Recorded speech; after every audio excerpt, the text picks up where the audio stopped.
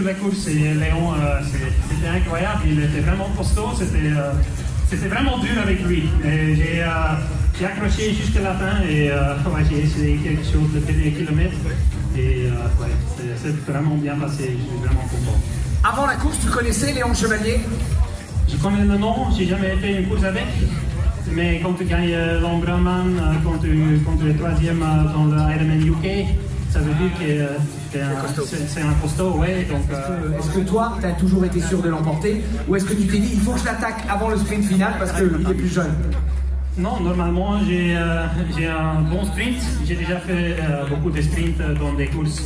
Et euh, normalement, ça passe toujours bien, mais on ne sait jamais. Donc, euh, j'ai essayé une fois le dernier kilomètre. Et si ça n'a pas marché, j'ai- voilà.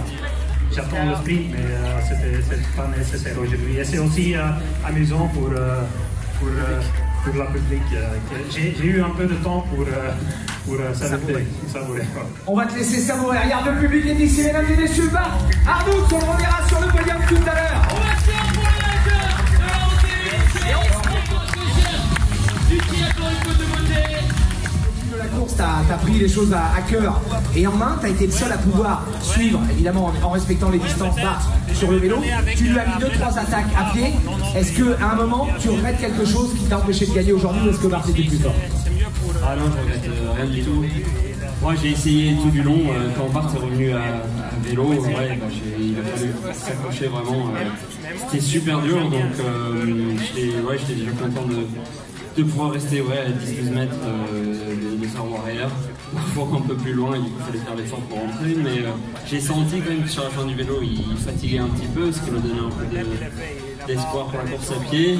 Et puis ouais, la course à pied, bah, c'est toujours euh, quelque chose de nouveau, sais jamais... euh, on va avoir des belles bonnes jambes à, vélo et, et à pied et inversement. Et ouais, j'ai tout donné, j'ai j'ai fait attaquer à chaque fois que, que je pouvais et je pense que Bart a, a l'expérience, euh, s'il a joué sa carte, ouais voilà, il a, il mis une attaque au moment où il fallait, je, je, pouvais plus, donc je suis très content déjà. Alors,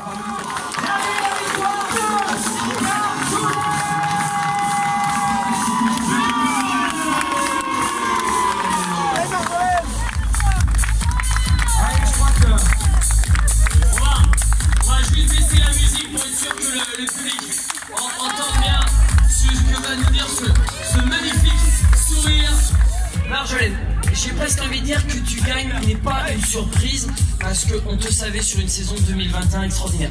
Ce qui est par contre une surprise, c'est de faire 4,25 alors qu'une certaine Anne Haug avait fait 80 ici même l'année dernière et que tu finis huitième de l'épreuve. Il y a seulement 7 garçons qui ont fini devant toi. L'année dernière, Anne Haug, elle avait fini septième au général.